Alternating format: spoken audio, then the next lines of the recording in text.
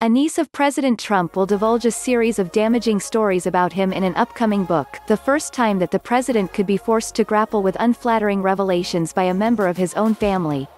The niece, Mary Trump, will release the book, Too Much and Never Enough, How My Family Created the World's Most Dangerous Man, on July 28, according to Ms. Trump's publisher, Simon & Schuster. The Daily Beast first reported on the book on Sunday. In the book, Ms. Trump, 55, will say she was a primary source for the New York Times' coverage of Mr. Trump's finances and provided the newspaper with confidential tax documents. A spokeswoman for the Times declined to comment on Sunday.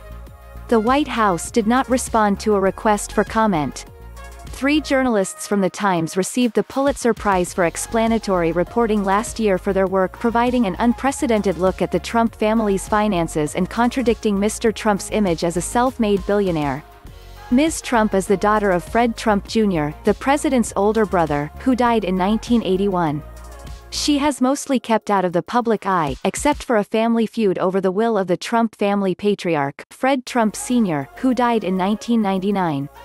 Several former White House aides and Trump administration members have written books that have been problematic for the president, including the former FBI Director James Comey, Andrew G. McCabe, a former Deputy FI Director, Cliff Sims, a former Trump aide, and an anonymous official who published a scorching indictment that questioned the president's fitness for office. Publishers have made a small fortune from tell-alls and journalistic investigations into the Trump administration. Simon & Schuster has already released a handful of books with damaging information about the president and his family, among them Bob Woodward's Fear, Trump in the White House, which sold more than a million copies in its first week, Unhinged, an insider's account of the Trump White House, by Omarosa Manigault Newman, a reality TV star and former Trump advisor, and, recently, The Art of Her Deal, an unauthorized biography of Melania Trump by the Washington Post reporter Mary Jordan. This summer, Simon & Schuster is also publishing a memoir by John Bolton, Mr. Trump's former national security advisor. The book's release has been complicated by disputes over what the Trump administration contends as classified information.